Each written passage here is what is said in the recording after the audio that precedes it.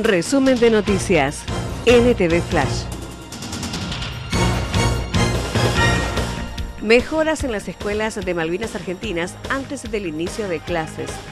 La Escuela Técnica número 2 de Villa de Mayo es una en la que se está trabajando mucho para llegar a tiempo con las reformas antes del inicio de clases remodelación de los baños a nuevo, arreglos en los tanques de agua, colectores y caños son parte de los trabajos. También la cuadrilla de mantenimiento escolar realiza tareas de mantenimiento general.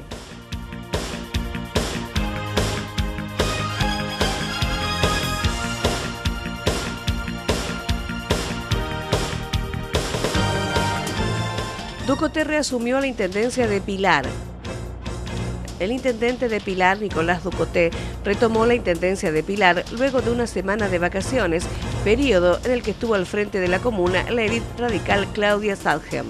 El jefe comunal mantuvo un encuentro con Sadgem en donde se repasaron los últimos días en los que la concejal estuvo al frente del municipio. Sí, la verdad que súper agradecida a ella porque pude tomar cuatro o cinco días en familia, que me venía bien antes de retomar toda la agenda de trabajo que es habitual.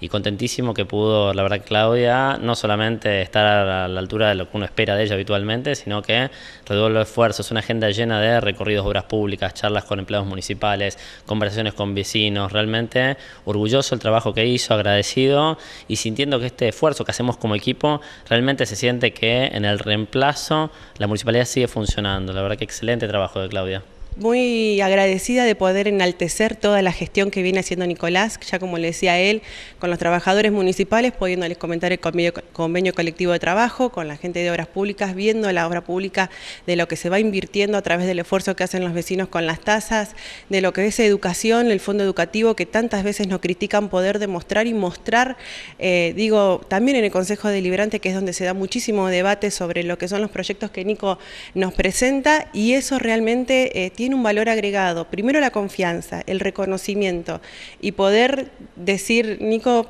descansa con la familia, que la familia es la que nos está sosteniendo cada vez que volvemos a casa. Así que yo no me van a alcanzar la vida ni las palabras para agradecerle esta oportunidad y ojalá se haya sentido cómodo y a lo largo de estos dos años se pueda volver a repetir la, la posibilidad vamos a volver a dar esta dinámica de trabajar en conjunto, que lo que yo dejo por hacer el día que me voy, Claudia lo toma, lo sigue en la semana y estábamos haciendo recién la devolución de muchas de las cosas en las que ella avanzó, dimos tres o cuatro pasos para adelante, así que entusiasmado, agradecido y la verdad que celebrando esto que se va dando el, el gobierno y la municipalidad de Pilar, que es despersonalizar un poco la gestión pública e ir valorando el atributo de lo que podemos hacer en conjunto.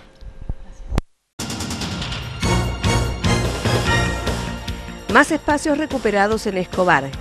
Quedó inaugurada la renovada Plaza Juana Azurduy del barrio Villa Alegre de Belén de Escobar, un proyecto propuesto y votado a través del presupuesto participativo.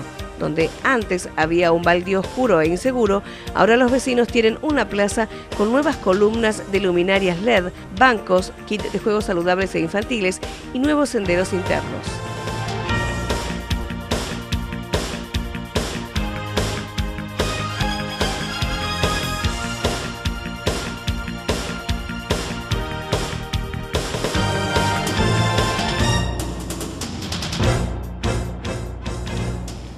Pronóstico extendido del tiempo. La jornada se presentó con una máxima de 31 grados, buenas condiciones que se mantendrán mañana cuando la máxima llegue a los 29 grados y sea un día soleado. Datos extraídos de weather.com.